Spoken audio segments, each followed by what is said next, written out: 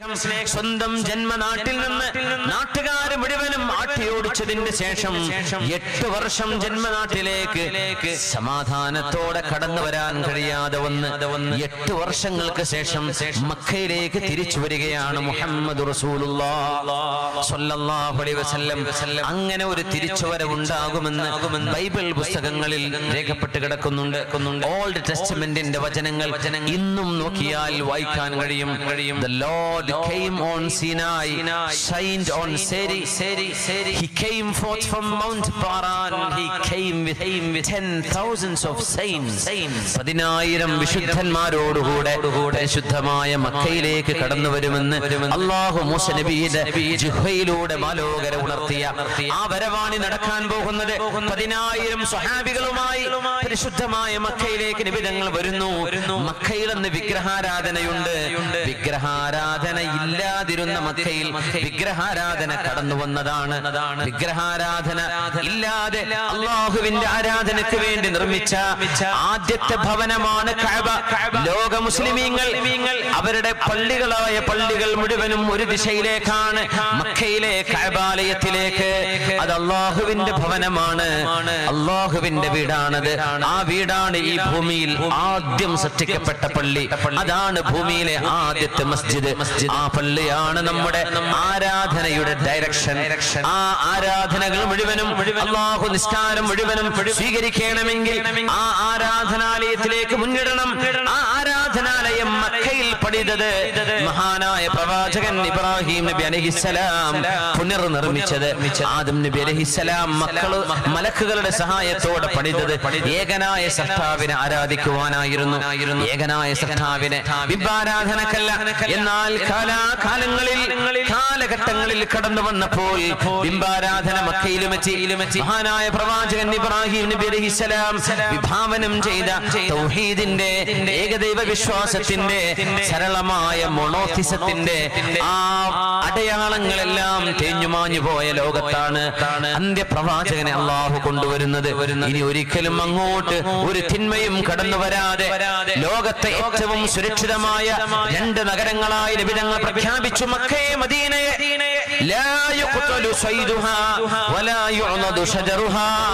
മക്കയിലും മദീനയിലും ഒരു ചെടി പോലും മുറിക്കാൻ പാടില്ല. ഒരു മരം പോലും അനാവശ്യമായി പിഴുതെടുക്കാൻ പാടില്ല. അവിടെ ഒരു ജീവിയെ പോലും വെടിവെച്ചിടാൻ പാടില്ല.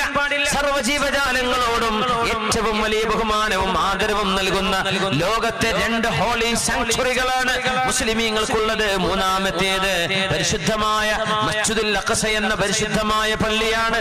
എന്നാൽ രണ്ട് ഹോളി സാങ്ച്വറി ഹോളി ടെറിറ്ററി അതാണ് പരിശുദ്ധമായ മക്കയും പരിശുദ്ധമായ ഹബീബ്.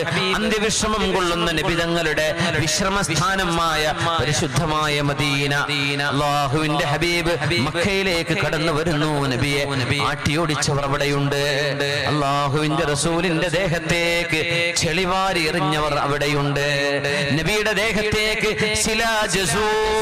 ഒട്ടകത്തിന്റെ ചീഞ്ഞളിഞ്ഞ കുടൽമാലകൾ ചാർത്തിയവരുടെ അവിടെ അവരുടെ കുടുംബങ്ങളുണ്ട്. പ്രവാചകരെ ദ്രോഹിക്കാൻ മുന്നോട്ട് വന്ന ആളുകൾ അവിടെയുണ്ട്. അനുയായികളെ കുത്തി നുറുക്കി കൊന്നവർ അവിടെയുണ്ട്. അള്ളാഹുവിന്റെ റസൂൽ ശാന്തമായി മദീനയിലേക്ക് കട മക്കയിലേക്ക് കടക്കുകയാണ്. ആ രംഗം ഹദീസിൽ കാണാം. നിബിതങ്ങളുടെ ഒട്ടകം. ആ ഒട്ടകത്തിന്റെ മീതെ നിബിതങ്ങൾ ചൊല്ലുന്നു. അല്ലാഹു അക്ബർ. അക്ബർ സർവേശ്വരനായ സർത്താവേ നീയാണ് ഏറ്റവും വലിയവൻ എന്ന് പറഞ്ഞ് ആ ഒട്ടകത്തിന്റെ മീതെ ചൊല്ലി നിബിതങ്ങൾ സുജൂദിൽ എന്ന പോലെ തല കുനിച്ചുകൊണ്ടാണ് വിനയത്തോടെയാണ് ഗജവീർ ഏറ്റവും നല്ല വിജയഭേരി മുഴക്കി വരുന്ന നേതാവ് മുഹമ്മദ് തങ്ങൾ വിനയത്തോടെയാണ് മക്കയിലേക്ക് കടന്നു വരുന്നത്. മക്ക നഗരം ഇസ്ലാമിന് കീഴ്പ്പെടുകയാണ്. അത് ഹിജറയുടെ എട്ടാം വർഷമായിരിക്കുന്നു. പരിശുദ്ധമായ കാബാലയത്തിന്റെ ചുറ്റും മുന്നൂറ്റി അറുപത് അവിടെ.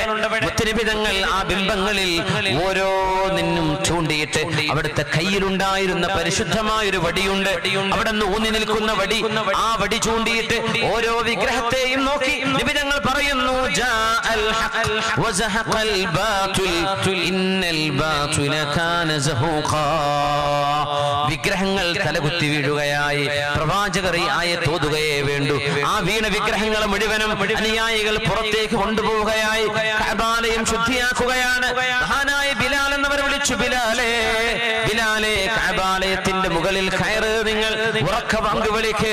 അള്ളാഹുവിന്റെ വിളംബരം നടത്തണം. ബിലാൽ എന്നവർ ബാങ്ക് വിളിക്കാൻ കയറുകയാണ്. കറുകറുച്ച ബിലാൽ മഹത്തായ കഅബാലയത്തെ ചവിട്ടി മേലോട്ട് കയറുന്നു. ആ അധികാരം നിബിധങ്ങൾ ബിലാൽ എന്നവർക്ക് നൽകുന്നത് മനുഷ്യ മക്കളിൽ ഏകത്വമുണ്ടെന്ന് പഠിപ്പിക്കാനാണ്. തുണി നിറം കൊണ്ട് വ്യത്യാസമില്ലെന്ന് പറയാനാണ്. നാഷണാലിറ്റി കൊണ്ട് വ്യത്യാസമില്ലെന്ന് പറയാനാണ്. ഒരു മനുഷ്യന്റെ നന്മ കിടക്കുന്നത് ഹൃദയത്തിലും അവന്റെ കർമ്മത്തിലുമാണെന്ന് കണ്ടാണ് ബിലാൽ എന്ന സ്വഹാബിയെ നിബിധങ്ങൾ മേലോട്ട് കയറാൻ അനുവദിച്ചത് കബാലയത്തിന്റെ മുകളിൽ കയറി വാങ്ക് വിളി നൽകിയിരിക്കുകയാണ്. എല്ലാവരും ശാന്തമായി ലോകത്തിന്റെ ഗുരുവിന്റെ മുമ്പിലേക്ക് മുഖത്തേക്ക് നോക്കി നിൽക്കുന്നു നിൽക്കുന്നു. ശാന്തമാണ് അവിടെ.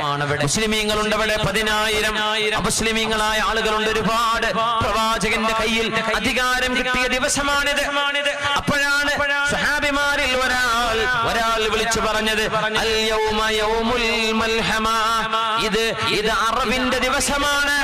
ഇത് ഇത് ചോര ചിന്തുന്ന ദിവസമാണ് എന്ന് പറഞ്ഞപ്പോൾ നിബിതങ്ങൾ ആ മനുഷ്യനോട് ആ സുഹാബിയോട് പറയുന്നു ഇനി ഇസ്ലാമിന്റെ പതാക നിങ്ങൾ പിടിക്കണ്ട.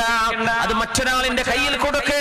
ഇത് കൊലപാതകത്തിന്റെ ദിവസമല്ല ഇത് പ്രതികാരത്തിന്റെ ദിവസമല്ല. ഇത് കൊലപാതകത്തിന്റെ ദിവസമാണ്. അവർ വിചാരിച്ചത് നിബിതങ്ങൾ പ്രതികാരമെടുക്കുമെന്നാണ്. നിബിതങ്ങൾ അവരോട് മുഴുവനും പ്രതികാരം ചെയ്യുമെന്നാണ്. തന്റെ അനുയായികളെ കൊന്നവരെ മുഴുവനും വിസ്തരിക്കാൻ നിബിതങ്ങൾക്ക് അവിടെ കഴിയും. തങ്ങളുടെ കൂടെ ആയുധമുണ്ട് സംഘമുണ്ട് സ്വഹാബികളുണ്ട്. ജീവൻ കൊടുക്കാൻ തയ്യാറായവരാണ് അവർ ഒരായിരം ശക്തിയുള്ളവരാണ് ഓരോരുത്തരും. എന്നാൽ പ്രവാചകർ തിരുത്തുകയാണ് ആ വാക്ക്. മൽഹമ എന്നല്ല പറയേണ്ടത്. ഇത് കരുണയുടെ ദിവസമാണ്. ഇത് കാരുണ്യത്തിന്റെ ദിവസമാണ്. ഇത് കൊലപാതകത്തിന്റേതല്ല ഇത് അറബിന്റേതല്ല ഇത് ചോരചിന്തന്റേതല്ല ഇത് പ്രതികാരത്തിന്റേതല്ല അൽ യൗമ യൗമുൽ കരുണയുടെ ദിവസമാണ്. കാരുണ്യം വാരിക്കോരി നമ്മൾ കൊടുക്കുന്ന ദിവസമാണ്. ഖുറൈശൻ. അഭിമാനം നൽകുന്ന ദിവസമാണെന്ന് ആ വാക്കുകളെ തിരുത്തി പറയിപ്പിച്ചു നിബിതങ്ങൾ. അലൈഹി വസല്ലം. എന്നിട്ട് കഅബാലയത്തിന്റെ വാതിലിന്റെ ത്രഷോൾഡിൽ നിൽക്കുകയാണ് നിബിതങ്ങൾ. കഅബാലയത്തിന്റെ വാതിൽ രണ്ട് കൈയും വെച്ച് നിബിതങ്ങൾ നിൽക്കുന്നു. കഅബാലയത്തിന്റെ വാതിൽ ഉയരെയാണ്. നിബിതങ്ങൾ ഇങ്ങനെയാണ് ഈ സ്റ്റേജിലേക്ക് കയറി വരുന്ന പോലെ സ്റ്റെപ്പുകൾ കയറണം. കബാലയത്തിന്റെ വാതിൽ വരാൻ ആ വാതിലുകൾ കൈവച്ചുകൊണ്ട് അള്ളാഹുവിന്റെ റസൂൽ ചോദിച്ചു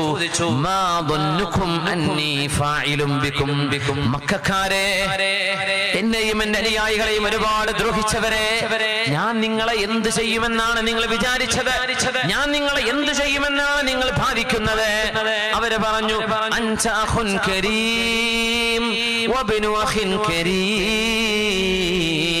നിങ്ങൾ മാന്യനായ ഒരു സഹോദരനാണ് നബിയെ. മാന്യനായ ഞങ്ങളുടെ ഒരു സഹോദരന്റെ മകനുമാണല്ലോ. അങ്ങ് മാന്യനായ സഹോദരനാണ്. മാന്യനായ ഞങ്ങളുടെ സഹോദരന്റെ പുത്രനാണ്. ഇത് പറഞ്ഞപ്പോൾ നബി ഞങ്ങളുടെ മറുപടി വരുന്നു. ആരാണ് അവിടെ നിൽക്കുന്നതെന്നറിയണം റോഹിംഗ്യൻ മുസ്ലിമീങ്ങളെ ക്രൂരമായി കൊല ചെയ്ത തീ കത്തിച്ചു വെച്ചിട്ട് പിഞ്ചു മക്കളെ വലിച്ചെറിഞ്ഞ ആ ദുഷ്ട ദുഷ്ടന്മാരുടെ കശ്മലന്മാരുടെ പ്രവർത്തനങ്ങൾ വീഡിയോകളിൽ മനുഷ്യ കണ്ണുകൾക്ക് പോലും കാണാൻ കഴിയാത്ത വിധം മനുഷ്യത്വം പോലും മറച്ചു പോകുന്ന വിധം അത്രയും ദുഷിച്ച മനസ്സുമായി നടക്കുന്ന ആളുകൾ അന്ന് മദീൻ അന്ന് മക്കയിലുണ്ട് എന്ന് ഓർമ്മ വേണം. അതിന് സമാനമായ ആളുകൾ സുഹാബികളെ ചുട്ടുകൊന്നവരെ അവരെ അവരെ ശരിക്കും വേദനിപ്പിച്ചവരെ തലയെറുത്തു കൊന്നവരെ യുദ്ധങ്ങളിൽ വന്ന് അറുകൊല ചെയ്തവരെ ആട്ടിയോടിച്ചവരെ അവരുടെ സമ്പത്ത് മുഴുവനും അപഹരിച്ചവരെ ഈ സമുദായത്തോടാണ് ലോകത്തിന്റെ കാരുണ്യ ദൂതായ മുഹമ്മദ് നബി തങ്ങൾ ചോദിക്കുന്നത് നിങ്ങളെയൊക്കെ ഞാൻ എന്ത് ചെയ്യുമെന്നാണ് നിങ്ങൾ വിചാരിക്കുന്നത്? അവർ പറഞ്ഞു നിങ്ങൾ മാന്യനായ സഹോദരനാണ്. അവരാ മറുപടി പറയുമ്പോഴും അവർക്ക് ഓർമ്മയുണ്ട്. ആ മാന്യനായ സഹോദരനോട് ഞങ്ങൾ മാന്യത കാണിച്ചിട്ടില്ല. നിങ്ങൾ മാന്യനായ ഒരു പിതാവിന്റെ മോനാണെന്ന് പറയുമ്പോഴും ആ പൈതൃകത്തിന്റെ മഹത്വം ഒരിക്കലും അംഗീകരിച്ചു കൊടുക്കാതെ പ്രവാചകനെ നിർബന്ധിച്ച് മക്കയിൽ നിന്ന് നാടുവിടേണ്ടി വന്നു നിബിതങ്ങൾക്ക്. എന്നാലും ആ വെറുപ്പിന്റെ അധ്യായങ്ങളെല്ലാം മറന്നുകൊണ്ടാണ് ലോകത്തിന്റെ ഗുരു പറയുന്നത്. ഞാൻ നിങ്ങളോട് പറയാൻ പോകുന്നത് എന്റെ പ്രവാചക സഹോദരൻ യൂസുഫ് നബി അലിഹിസലാം വർഷങ്ങൾക്ക് മുമ്പ് അവിടുത്തെ സ്വന്തം ജ്യേഷ്ഠന്മാർ തന്നെ പൊട്ടക്കിണറ്റിലേക്ക് കൊണ്ടുവന്നെറിഞ്ഞപ്പോൾ താൻ മരിക്കാൻ വേണ്ടി പിതാവിനോട് അനുജനെ ഞങ്ങൾ കളിക്കാൻ കൊണ്ടുപോവുകയാണെന്ന് പറഞ്ഞ് ഇന്നത്തെ ജോർദാനിലെ ആ കനാനിലെ പൊട്ടക്കിണറ്റിൽ ഫീ ഗയാബത്തിൽ ജുബ്ബി ആരാരും വന്നു നോക്കാത്ത ഒരു പൊട്ടക്കിണറ്റിലേക്ക് പ്രവാചകനായി മാറാൻ പോകുന്ന യൂസുഫ് നബി അന്ന് കൊച്ചുകുട്ടിയായിരുന്നപ്പോൾ പിതാവ് അമിതമായി സ്നേഹിക്കുന്നു അനുജനെ എന്ന് പറഞ്ഞ് ആ അസൂയ കാരണം അനുജനെ കൊല ചെയ്യാൻ കൂട്ടുനിന്ന തന്റെ പത്തോളം വരുന്ന ജ്യേഷ്ഠന്മാർ നിന്ന് രക്ഷപ്പെട്ട് അടിമച്ചന്തയിൽ കൊണ്ടുപോയി വിൽക്കപ്പെട്ട് അസീസ് മിസുറിന്റെ കൊട്ടാരത്തിൽ അടിമയായി ജോലി ചെയ്ത് അവിടെ നിന്ന് അധികാരത്തിലേക്ക് വന്ന് ഈജിപ്തിന്റെ ഭരണാധികാരിയായി മാറിയ കൊച്ചനുജനെ. ഇതാണ് തങ്ങൾ പൊട്ടക്കിടലെറിഞ്ഞ അനുജൻ എന്നറിയാതെ രാജാവിന്റെ മുമ്പിൽ റേഷൻ വാങ്ങിക്കാൻ വന്നപ്പോ യൂസുഫ് നബി ചോദിച്ചുവല്ലോ ജ്യേഷ്ഠന്മാരോട് നിങ്ങൾക്ക് എന്നെ അറിയുമോ? ഇല്ല. ഇല്ല. നിങ്ങൾക്ക് യൂസുഫ് എന്ന അനുജൻ ഉണ്ടായിരുന്നു. ഉണ്ടായിരുന്നു. ആനുജന അനുജനെവിടെ ആനുജന ചെന്നായ കടിച്ചുപോയി. അവരന്നും നുണ പറഞ്ഞു. യൂസുഫ് നബി അലഹിസ്സലാം പറഞ്ഞു ഇല്ല ഇല്ല. ചെന്നായ കടിച്ചു എന്ന് എന്റെ ഉപ്പയോട് നുണ പറഞ്ഞ് പറഞ്ഞ് പൊട്ടക്കിണറ്റിൽ എറിഞ്ഞ് എന്നെ ഒറ്റക്കാക്കി പോയ ജേഷ്ഠന്മാരല്ലയോ നിങ്ങൾ? നിങ്ങൾ? അന യൂസുഫു ഞാൻ യൂസുഫാണ്. ഇത് പറഞ്ഞപ്പോൾ പേടിച്ച് ധരിച്ചുപോയ ജ്യേഷ്ഠന്മാരോടാണ് യൂസുഫ് നബി അലൈഹിസ്സലാം പറഞ്ഞത് ലാ. നിങ്ങളോട് ഇന്ന് പ്രതികാരമില്ല പ്രതികാരമില്ല കാരുണ്യവാൻ നിങ്ങൾക്ക് പുറത്തു തരട്ടെ. അവൻ നിങ്ങൾക്ക് മാപ്പാക്കി തരട്ടെ. അവൻ ഒരുപാട് കരുണ ചെയ്യുന്നവനാണ്. ഞാൻ നിങ്ങളോട് പ്രതികാരം ചെയ്യില്ലെന്ന് പറഞ്ഞ് ഇഷ്ടം പോലെ റേഷൻ കൊടുക്കുകയും കൊട്ടാരത്തിൽ അവരെ സ്വീകരിച്ചിരുത്തുകയും ചെയ്ത ആ യൂസുഫ് നബിയാണ് എന്റെ മാതൃക. അതുകൊണ്ട് ഞാൻ അതുപോലെ പറയുന്ന മക്കാരെ. لا تثريب عليكم اليوم أنتم الطلقاء പൊയ്ക്കോളൂ പൊയ്ക്കോളൂ നിങ്ങളെ ഞാൻ വെറുതെ വിട്ടു നിങ്ങളോട് ഇന്ന് പ്രതികാരമില്ല എന്ന പബ്ലിക് അംനസ്റ്റി നിബിതങ്ങൾ പ്രഖ്യാപിച്ചില്ലേ അതാണ് ഈ ഉമ്മത്തിന്റെ ഏറ്റവും വലിയ മാതൃക മുഹമ്മദ് റസൂലുള്ള